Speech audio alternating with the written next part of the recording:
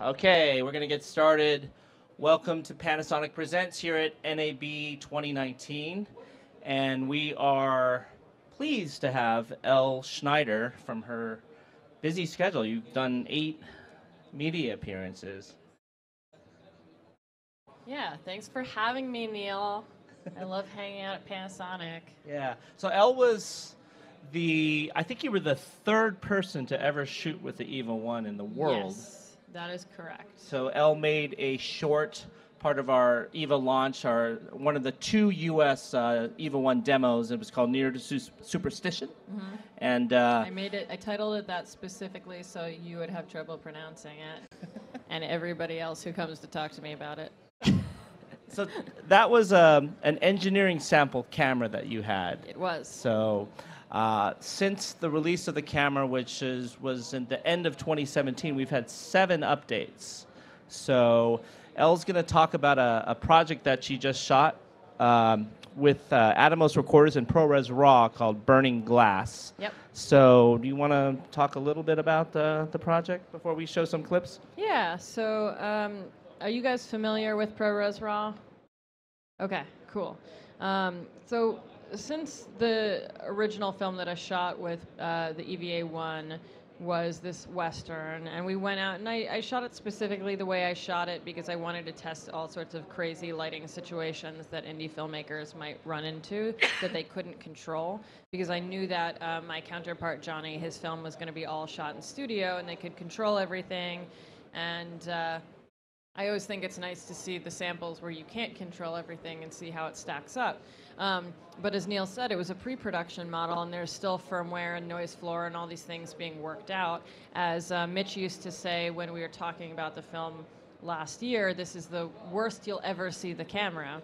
Um, that being said, there have been, as Neil also said, uh, seven upgrades since then, including the ability to, recruit, uh, to record up to 5.7K in ProRes RAW.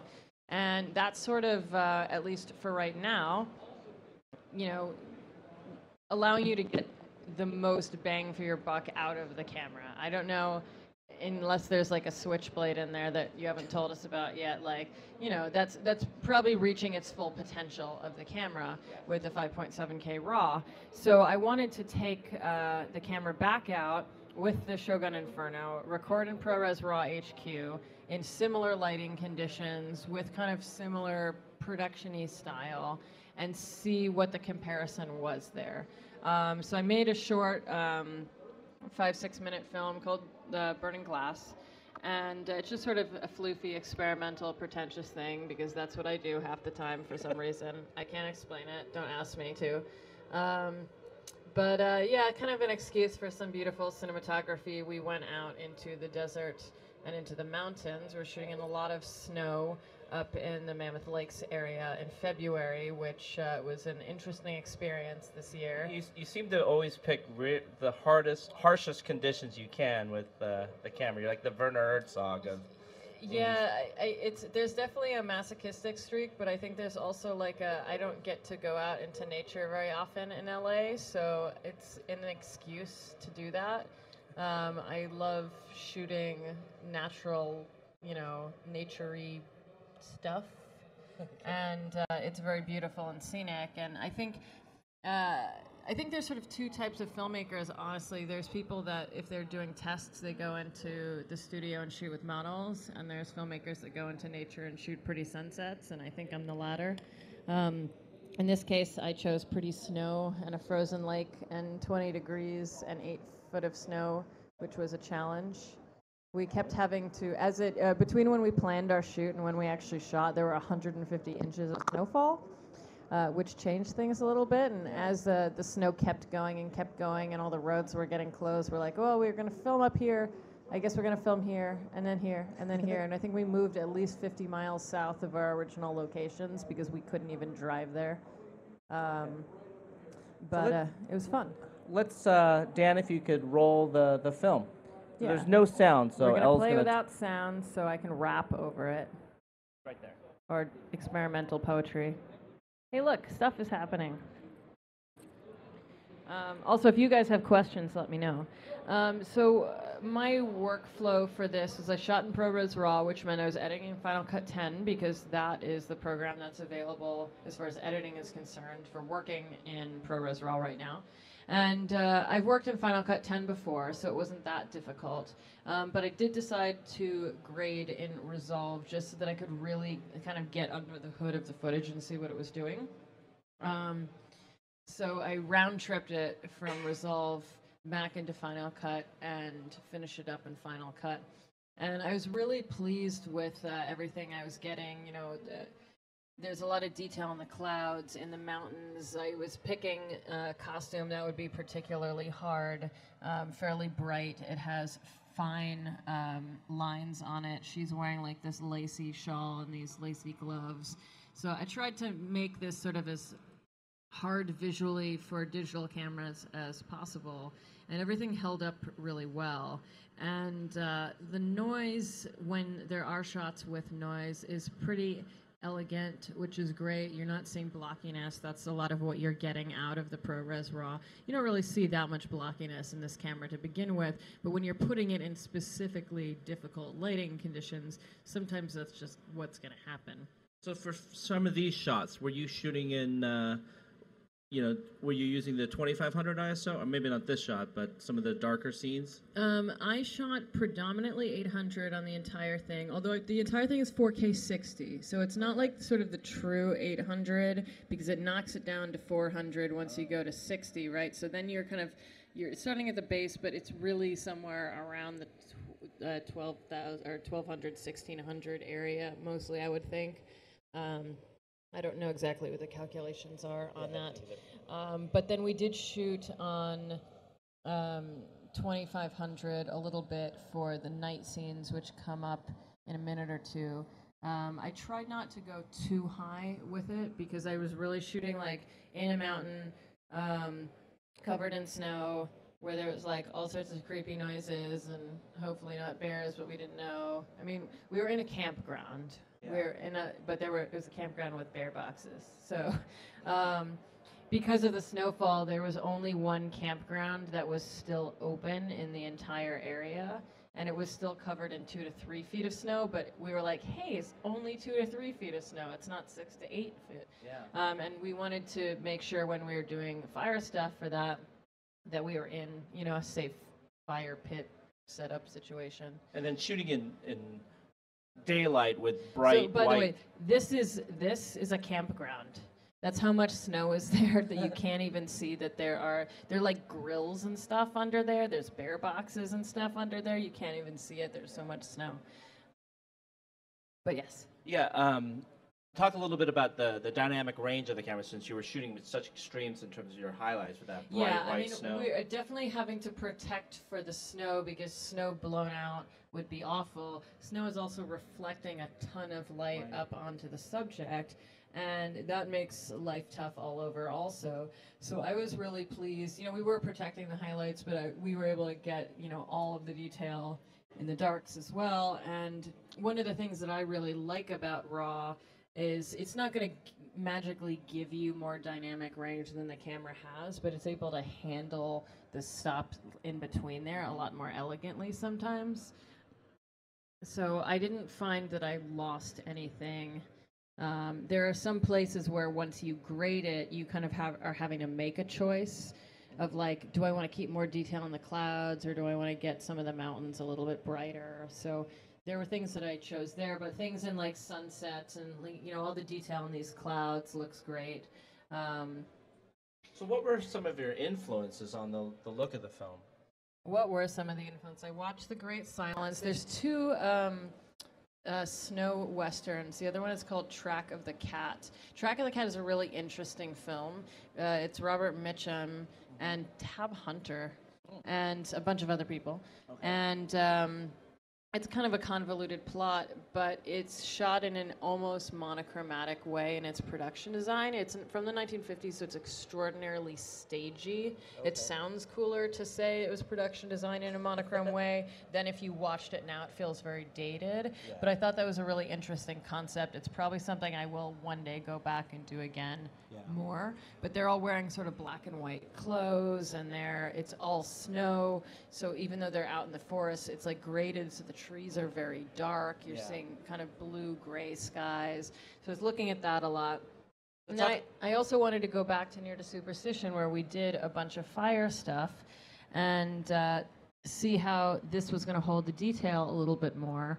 And I think it looks really great. I did fill it out a little bit more because uh, we were at such a high altitude. It was really, really difficult. It took us two and a half hours to get the fire started initially.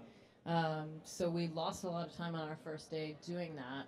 Um, but just to make sure um, we had enough of what we needed, I brought some hive lights out. And so we did, because they have these great colored WASP 100C lights. And I filled in the fire a little bit just to make sure there was consistency throughout. Because one thing that we did face on Near to Superstition, which thankfully we didn't face here, was extreme wind, like what we're dealing with here trying to shoot a fire scene with that kind of wind um, and keep any kind of consistency on the actors' faces is pretty tough. But I like shooting with real fire and not flicker boxes because I think that we can kind of tell pretty quickly if it's like looking right or not. And I also don't like to backlight too crazily when I'm doing fire stuff because like again our brain is like that tree wouldn't be blue cast back there. Like we know there's like a light set up off the side, and I I always get distracted by that. So talk a little bit about the gear that you use for this. Like, what lenses did you use? So I shot with all Sigma Cine Primes, including their new 40 and 105, which had not been released yet, but you can now go see at the show. Um, and for a handful of things, so we didn't have a tripod. There's so much snow, and we are often having to like walk out, you know, half mile. Um, and there were some places where I was just nervous about having too much weight. So actually, if you go back to one slide before this, uh, this is Convict Lake, and the, there's a lake behind me, and it's completely frozen over and covered with snow. But I am a safe filmmaker, and while there's a lot of tourists and Instagram influencers who are out there running around on the frozen lake, I was not going to ask my actress to do that because she's a friend of mine, and I would like her to not die. Um, so I was really careful to not bring too much heavy stuff, especially when we were shooting right here, because um, it sort of, uh, you know, it gets deeper as you go in. So we probably were on some ice at some point, but just like right where the shore was. Um, but the, a tripod is going to be heavy enough to sink down through the snow. And certainly when we were tracking out into the next section, um, Uh, next slide, Dan. where we were walking a half mile, it, it just again a huge amount of snow. You can see in the background that little brown thing. That's a bear box. So if you've ever been camping, those are usually about three feet, three and a half feet high, and that one's almost completely covered in snow. Um, and if we had put a tripod in, it would have just been really difficult to deal with. So I actually used the Ronin S instead of a tripod because the setup with the Eva, which is a Frankenstein monster that's not supposed to exist because um, the Eva is slightly too heavy of a payload with a lens to work on the Ronin S, except DJI helped me balance it so we were able to make it work. And I was all, I, so for this one setup, which is about six or seven shots. I used the Sigma Art 18 to 35, um, which we had balanced on there at Sigma. Um, Sigma and DJ are across the street from each other, so it's Yeah. easy to partner with both of them, and it's a lot of fun, and they're great people. Um, so they they helped me set up this rig going in there, so I could walk around with that thing instead of having to drag a giant tripod through the snow. And what was cool is that it ended up being light enough that it sat on top of the snow. So I'm sunk into the snow here, like, you know, above my knees, but the camera's just kind of hanging out, sitting on top of the snow, which was great. Um, so There's the 105. I also use a shape rig for my rig. I tend to play pretty rough when I'm in these like crazy shoots. Yeah. So apologies to shape, but I busted the matte box uh, on the first day. Um, so I'm switching it out for a uh, swing away, but it was cool because the filter tray was really robust. So the filter tray was fine. I just lost the flags. So what sort of filters were you using? So I was using a set of the the Tiffen ND Naturals, which are really clear NDs with no kind of pollution or IR issues. Um, and I was using a 1 8 Hollywood Black Magic in there. Um, Let's try actually, I next lied. slide. I think I might have used a 1 8 Pro Mist because I was only using Tiffen filters and they don't make Black Magic, do they? So, uh, yeah, it would have been, um, I think, 1 4th Pro Mist. So, did you capture in ProRes RAW or ProRes RAW HQ? ProRes RAW HQ. When in Rome, if I'm going to bother capturing ProRes RAW, I was going to go HQ and see what I was getting. And in terms of the file sizes, is there a huge difference between HQ and regular ProRes RAW? Or I don't know if it's a huge difference. Um, I didn't capture significantly more than I would on a normal short film or music video shoot, which was great. Like the file size really worked for me, although I overshot by one shot, Neil. I had a two terabyte drive and I shot two terabytes and four gigabytes of footage. So I had to have a second drive drive. just for that last little one.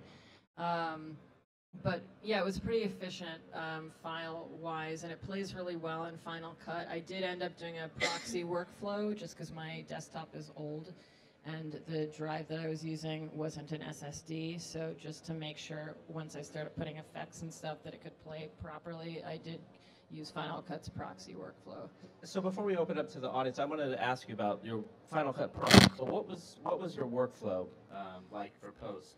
Okay, so you import everything in, and then Final Cut has a pretty seamless proxy setup. You kind of just select all the clips that you want to make proxies of, and you right click, and then you say transcode media, and then you say yes, and then it does it for you. Um, the proxy uh, creation takes a little bit of time, so I went away to South by Southwest, leaving it rendering, knowing that it would be good to go when I got back. And um, once I started cutting, it was pretty easy. Um, it, you know, it has the Panasonic LUT built into Final Cut 10, so I was able to just throw that on, which gave me a, a really good base for when I started to edit. Um, when I was done cutting, I um, exported because there's a share function Yeah. and I exported all of the clips out to Resolve, but with no LUT on it at all. Now, here's the thing: is that uh, as of this show, You, you exported 5.7K. Uh, well, I shot the whole thing 4K 60, so I exported. 4K 60. Yeah, I exported the um, 4K with no LUT on it out to ProRes 4444 XQ. Um, because until the show, there weren't any of the pro color grading suites that could take ProRes RAW natively. And I knew that I wanted to yuck it up more than Final Cut would allow me to do. Final Cut has really good grading in it, but I tend to go overboard and I like the node based workflows.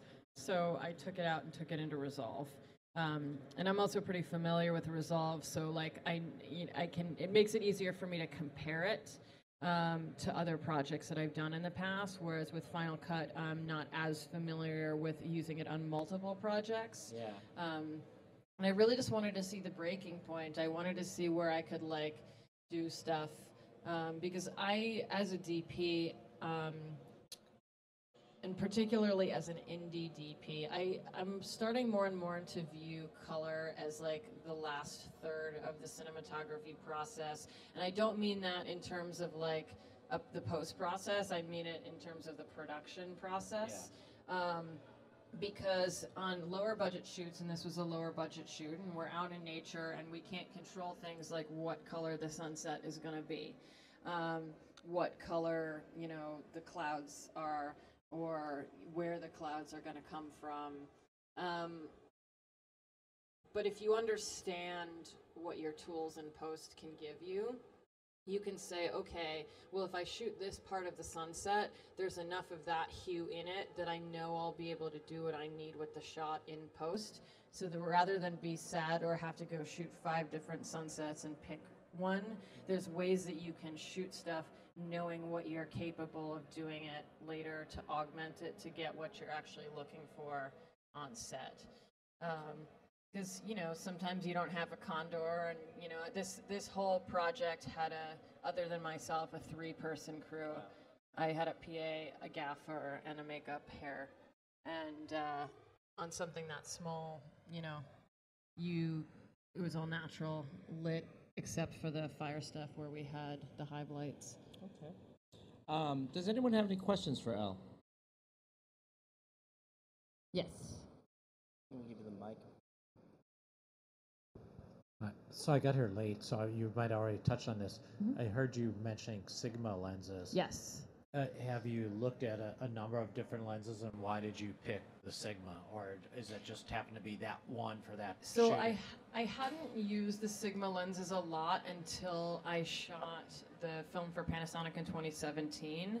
And that was the first time I had encountered the Sigma Cine lenses, and I really like them. I particularly like the way the light falls off on them. It's very bloomy, um, but soft. Um, whereas a lot of the sharper, newer lenses, it's like more of a harsh fall off, and you have to put a lot more filtration on them to get them to look nice.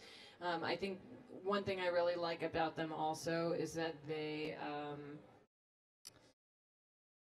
they are modern looking without feeling too sharp, and I think that's something that with as resolutions get higher. Um, that's something that we're all struggling with a lot is like keeping it from looking too video or too modern and for anything that's sort of going to be period piece like if you feel like you know the the actor just walked by you five seconds ago because it's so clean and sharp you're never going to buy the narrative that they're trying to sell you um, so i felt like the sigma lenses actually really did a good job sort of um, disguising the fact that they were modern and new lenses so i've started using them more and more um, I just really like them. I shoot sometimes with Zeiss. I shoot sometimes with Canon. Um, those are probably like the three companies that I use most frequently. I use Canon mostly for documentaries. Use Zeiss for music videos and other things. But um, I don't know. The, the Sigmas have have this very like neutral look that I really like, and they had just uh, announced that they're coming out with this 40 and 105, and 40 is a 40 is a really great um, size in prime because you know traditionally we're shooting close-ups and things on a um, like an 85 or 100 or a 50 and it gives us this kind of classic but it's very sort of static and um, portraity look. And a lot of dps now especially because there's uh, with all these rigs there's more ability for movement. People are moving into like a 28 30 range to do stuff and just getting closer because it like feels more dynamic. Because when you're on such a telephoto lens you move a little bit. It doesn't really um, shift the image very much but when you're on a wider lens you feel the motion more when you go close. So people are starting to experiment more with wider lenses on people and 40 is sort of that sweet spot where it's like not quite at a 50 which is sort of the standard but it's not quite exaggerated in the way that using like a 24 or a 35 could be depending on what you're shooting um, and i really wanted to try that out so i con them into lending me their two prototypes for this shoot Uh, actually, if you want to ask Elle a question, uh, we have to move on to the next uh, presentation. how so- dare you I want to thank everyone for coming. I want to thank Elle Schneider. Elle, you made a really gorgeous looking film. Thank so you very much. Congratulations. Um, and please visit to the other side of the booth. Uh, we have some Eva ones set up. And uh, you can also visit Atomos' booth and ask them all about ProRes Raw. You can. And I'll be there yakking about it again later.